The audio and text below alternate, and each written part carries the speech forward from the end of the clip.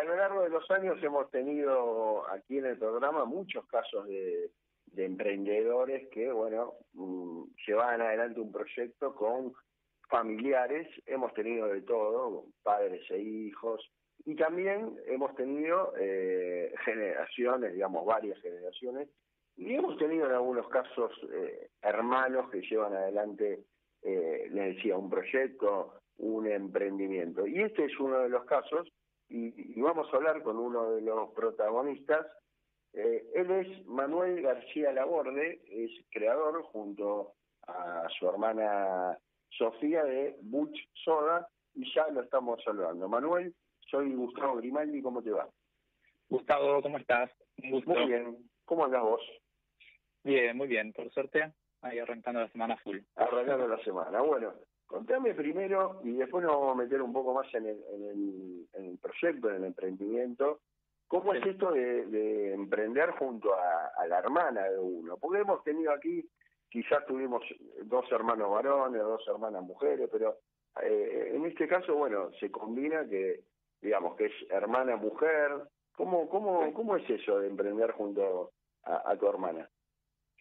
Mira, nosotros eh, cuando arrancamos el primer proyecto que después, digamos, dio nacimiento a este otro, que fue como hace 10 años, eh, yo estaba en realidad emprendiendo la parte productiva y en un momento el, el proyecto pidió crecer más estaba colapsado y Sofi venía justo de laburar en un más corto eh, con marcas grandes y metiéndonos más en la parte de marketing financiero y estratégico y ella justo acababa de ser madre y quería desvincularse de un proyecto particular que estaba en ese momento que tenía más que ver con el mundo del alcohol.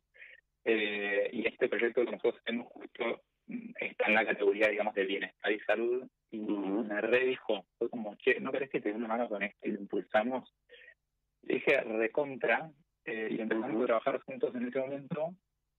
Eh, obviamente que tiene como sus, sus, por lo menos en mi experiencia en este caso, tiene como sus pros y sus cons eh, en el sentido de que hay una incondicionalidad muy grande sí. En, digamos, en la fraternidad digamos, de, de hermanos.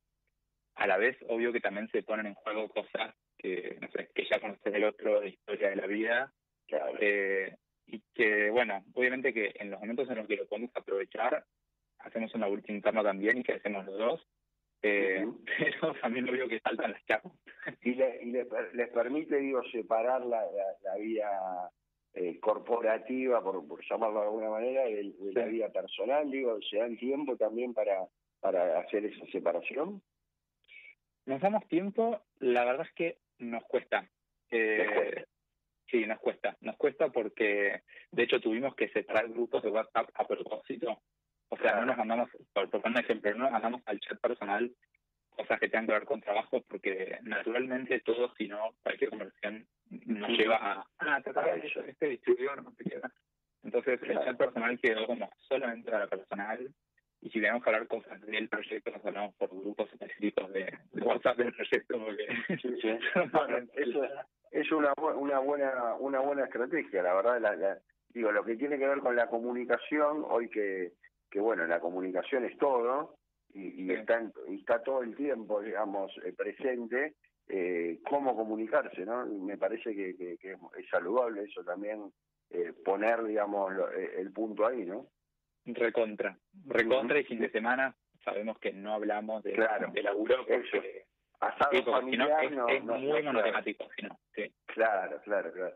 Bueno y contame un poco eh, de, de, qué se trata el proyecto eh, el proyecto digo gira en torno a un, a un producto que en el último tiempo ha, ha venido creciendo mucho sobre todo en, en, bueno en el público que vos decías se alimenta saludablemente o, o, o quiere tomar productos saludables eh, que es la kombucha no eh, y contarle a la gente, a lo mejor mucha gente no sabe qué, qué es, eh, contale y contanos de, de sí. qué se trata ese, ese producto. Recontra. Mira, estamos en un momento para mí re lindo eh, para esta categoría porque mm, está empezando a pasar que hoy decir la palabra kombucha o hablar de fermentados eh, uh -huh. ya entra, digamos, entra como por un tubo. Algunos no conocen detalles o no saben exactamente, pero nosotros hace 10 años cuando arrancamos, este proyecto inicial que te decía, nos costaba un montón. Yo me acuerdo que había que vender el producto y decía la palabra fermentado y la gente hace pensaba que fermentado era podrido. Hoy ya hablar de fermentación o hablar de kombucha o de bebidas, eh, digamos, saludables fermentadas es otra cosa. Pero básicamente eh, el producto que nosotros hacemos, que es una kombucha, es una bebida natural fermentada eh, eh, analcohólica, o sea que entra digamos dentro de la categoría de bebidas sin alcohol, y eh, lo cual es particular porque en general lo que nosotros consumimos en la vida diaria culturalmente que es fermentado son bebidas alcohólicas, digo, vino, cerveza, etcétera. Eh, entonces hay como un primer switch para hacer ahí para personas como, ah, está fermentado pero no tiene alcohol. Bueno, ya lo tiene alcohol, claro. Y en el caso de la kombucha, eh, este fermentado arranca eh, categóricamente, o sea, por clasificación, arranca de una infusión de la planta Camellia sinensis, que es la planta del té, eh, que puede ser en cualquier variedad, té verde, té rojo, eh, té olón, té negro, pero tiene que ser té. Eh, esto, digamos, lo definió así el código argentino, ¿no?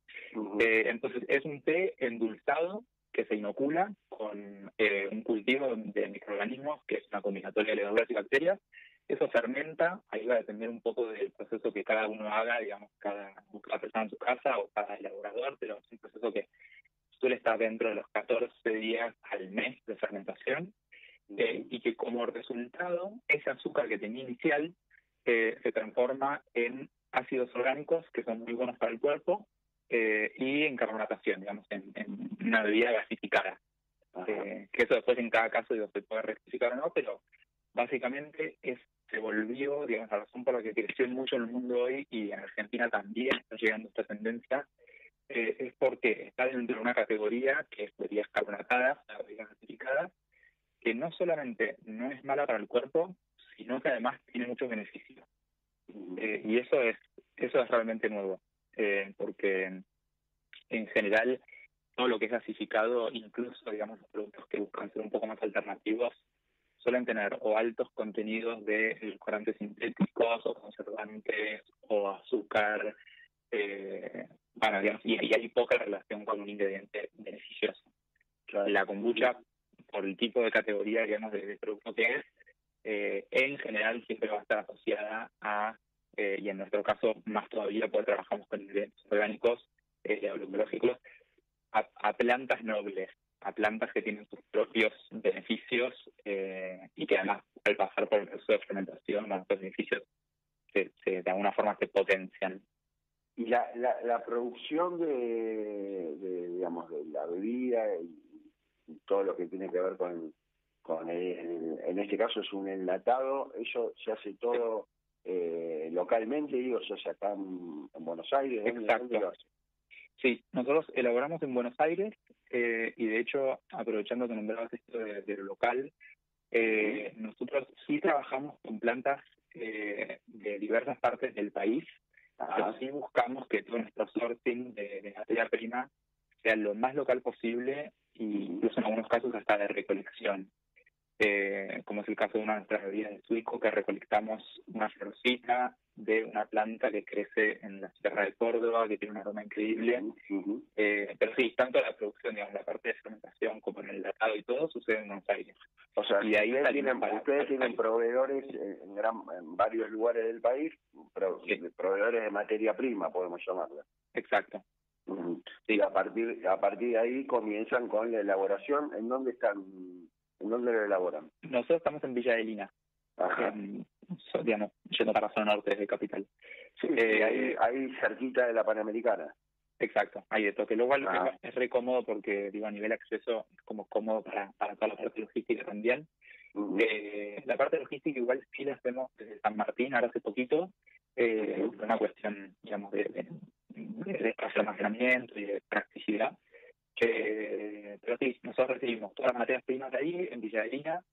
Esas materias primas en general tienen todo, digamos, un criterio de selección, eh, porque hay algo del proyecto nuestro en particular, más allá de la categoría kombucha, que nos gusta mucho, que nos copa el mundo de las plantas, eh, en general la botánica, es algo que venimos estudiando hace bastante, y nos gusta también de a poquito, porque también sabemos que, que no son muchas cosas a la vez, ir introduciendo plantas que tal vez no son tan conocidas, eh, y que de hecho no son tan conocidas adentro del mundo de bebidas, eh, pero que son deliciosas y tienen eh, mucha mucha data, mucho power, mucho factor beneficioso para el cuerpo y simplemente no se usan en esta industria. Eh, entonces aprovechamos para a través de un canal que es bastante popular, digo que es tomarte una latita de algo rico, gasificado, refrescante, eh, que sí mucho más por el momento, para alguien que tal vez no conoce de kombucha, en definitiva si está tomando eso, está tomando un refresco saludable rico. Eso es lo que queremos nosotros que suceda. ¿Y por qué, por qué eligieron eh, eh, que sea enlatado? Digo, ¿Es por algo en particular eh, o, es mejor que sea enlatado a, lo que tiene que ver con, el producto en sí? Mira, varios factores que nos llevaron a, digamos, a concluir con esa decisión. Nosotros, cuando arrancamos hace 10 años el primer proyecto, embotellábamos en vidrio.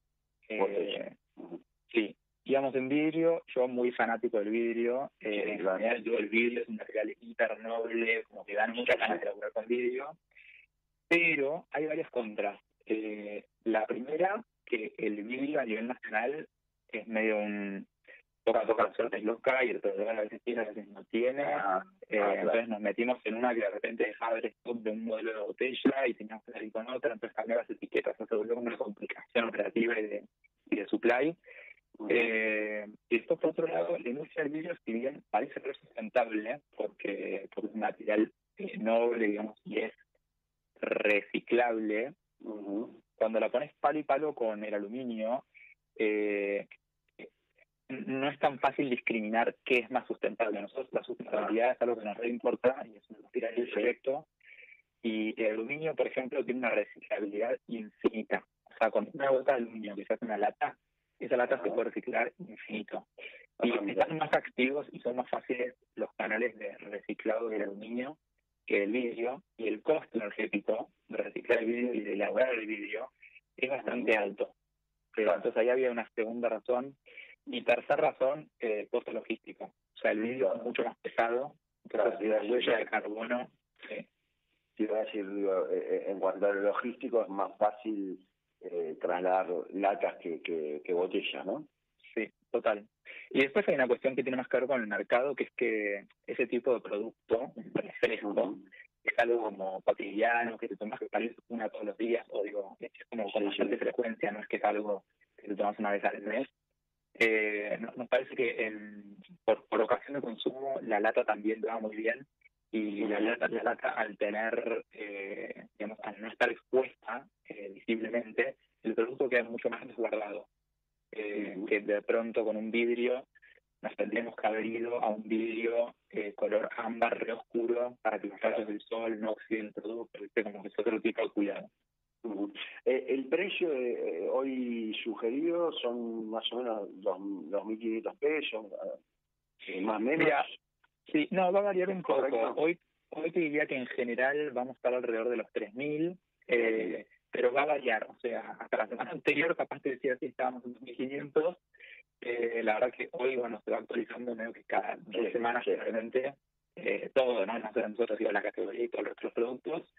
Eh, pero en general lo que nosotros vemos es que hay una similitud que responde obviamente también a una similitud en el proceso y todo, de los precios de una cerveza artesanal de muy buena calidad es bastante parecido el valor a una con mucha buena calidad eh, digamos que una cerveza ustedes, de alguna manera toman ese parámetro una cerveza premium digamos eh, artesanal eh, el valor con a lo mejor un poco emparejado con el de ustedes. En realidad no es que lo no es que lo usemos así como benchmark no, pero, nos damos cuenta de que sí de que finalmente sucede. Claro eh, lo cierto es que nosotros buscamos eh, ir al menor eh, precio posible porque realmente nos interesa que este producto, eh, como ya está sucediendo, digamos, salga del nicho de los conocedores del producto particular y pase a ser más un producto de consumo masivo, entre comillas, digo, en el sentido de que personas que ya no necesariamente son super nerds de esto o de la fermentación autónoma, sino que cualquier persona que quiere tomar algo, salir a comer afuera, ir a un bar, tomar algo sin alcohol, rico y saludable, lo tomen. Eh, y para eso obviamente hay que estar como competitivamente en, precios, ¿no? Y ahora, ahora que hablamos de precio, me interesa conocer también eh, siempre la, opinión de emprendedores, como en tu caso, que tienen un proyecto y, obviamente tienen que ir ajustando eh, a medida que, que, se van ajustando sus costos. Eh, ¿qué, qué, ves vos de acá los próximos meses en cuanto a, podemos poner de referencia a lo mejor el precio de la lata? Digo, eh, ¿crees que estamos lejos del, del techo del valor? Eh, obviamente se va a ir ajustando a medida que, que la inflación se, eh, se vaya desacelerando un poco menos, pero digo, ¿qué, qué es lo que ves de acá a los próximos, no sé, eh, cuatro o cinco meses? Sí.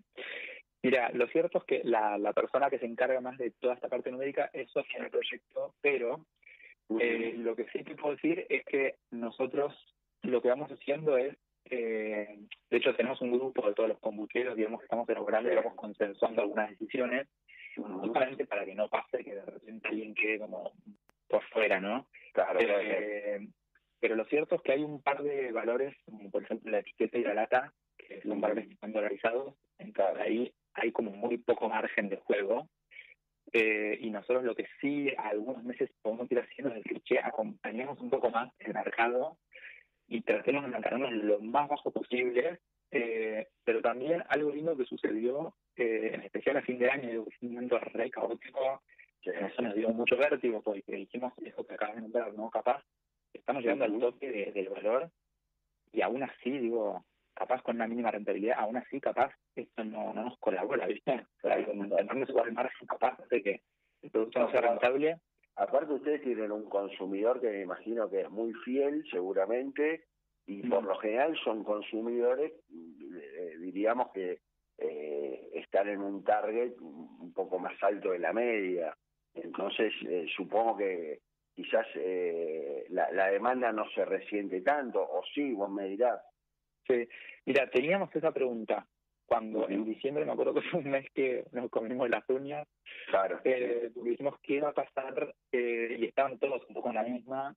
Y bueno, nosotros acompañamos como pudimos, digamos ahí como muy milimétricamente con los precios y los costos.